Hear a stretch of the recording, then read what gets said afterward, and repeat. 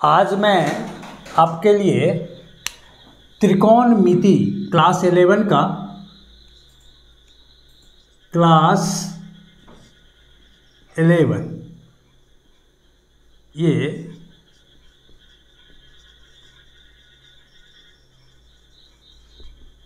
इसमें सबसे पहले हम लोग समझते हैं कि what is an angle? ये एंगल क्या है? इसको समझने के लिए अगर हम लोग एक पॉइंट को कंसीडर करें और यहाँ से एक रे को निकालें। ये एक रे है, जिसका इनिशियल पॉइंट ओ है। और इस रे पर कहीं एक पॉइंट ए है। तो ये initial line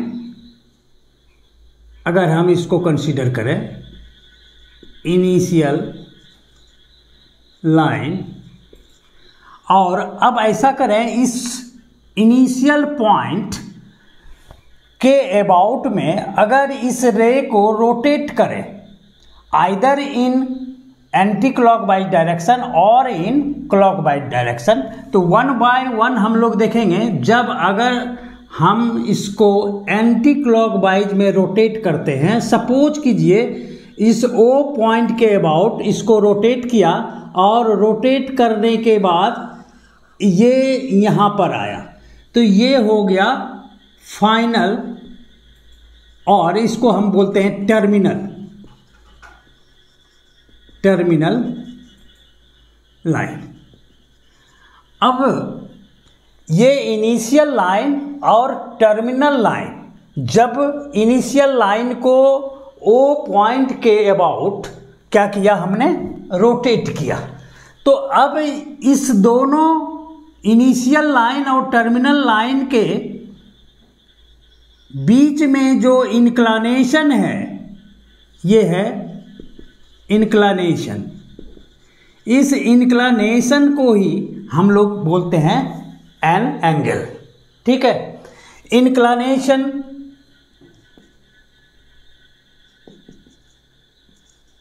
incli inclination between between initial line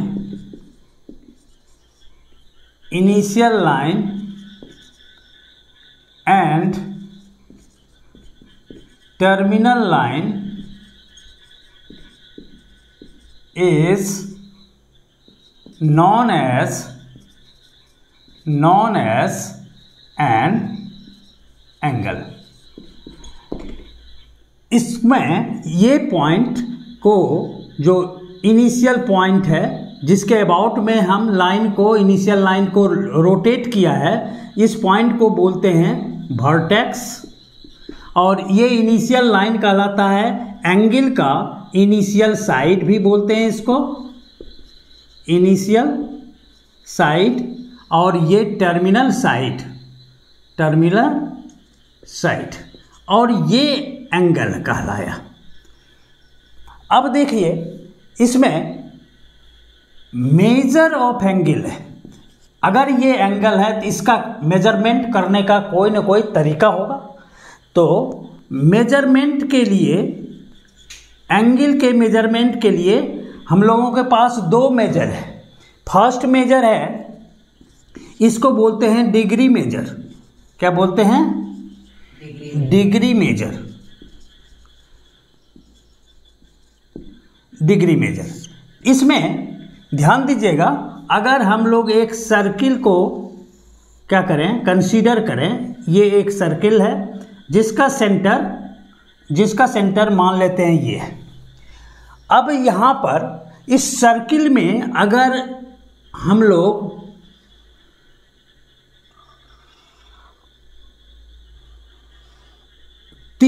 three hundred sixty part में सेक्टर बनाए यानी इसका एक सेक्टर,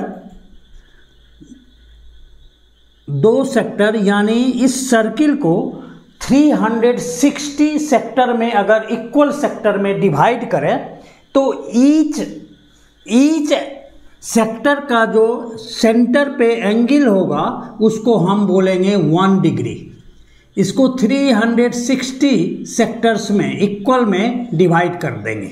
360 तो उतना करना पॉसिबल नहीं है 360 अगर मान लेते हैं, ये एक सेक्टर होगा, अगर three sec three hundred sixty sector में डिवाइड किया तो ये एक सेक्टर अगर हुआ तो इस एक सेक्टर सेंटर पे जो एंगल बना रहा है, उसको ही हम बोलते हैं वन डिग्री समझ गए?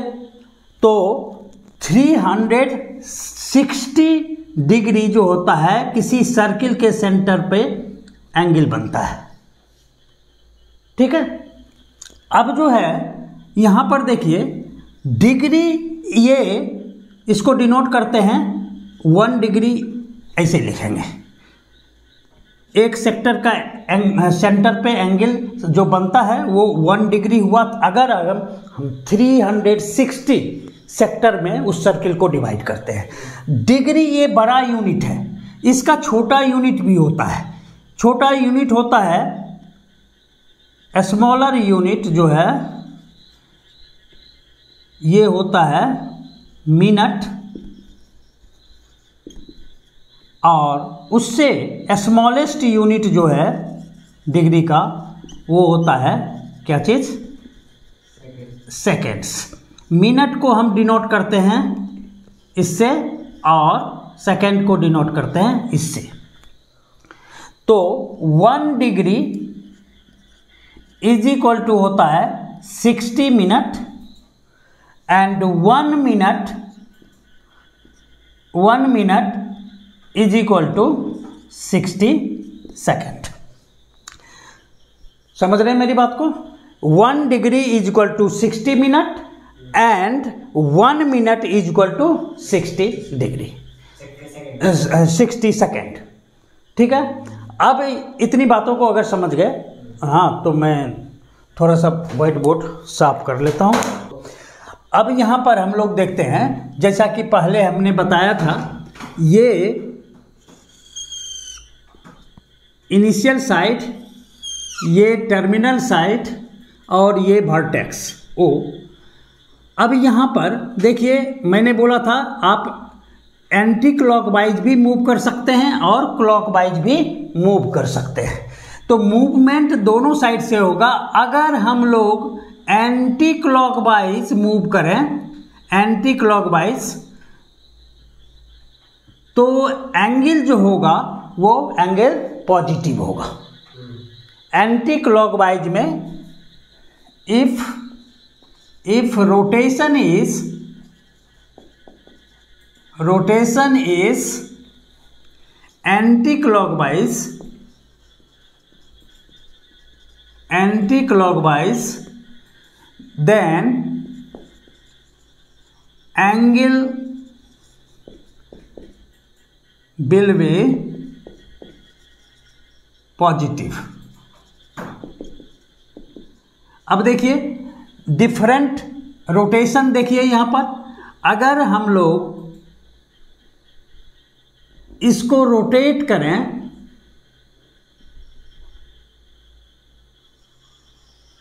ये रोटेशन ये रोटेट किया ऐसे तो ये हो गया 90 अब जो है, अगर ये इनिशियल पॉइंट और ये इनिशियल साइट जस्ट इसके अपोजिट हो जाए। यानी रोटेशन अगर इस ढंग से हो जाए, ये इनिशियल पॉइंट और ये।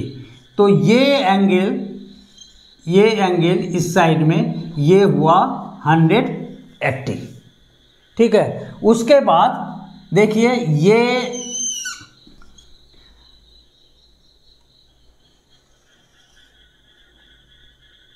ये देखिए, ये कितना हो गया?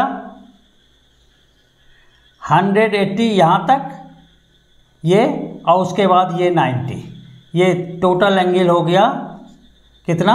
200 सेवेंटी।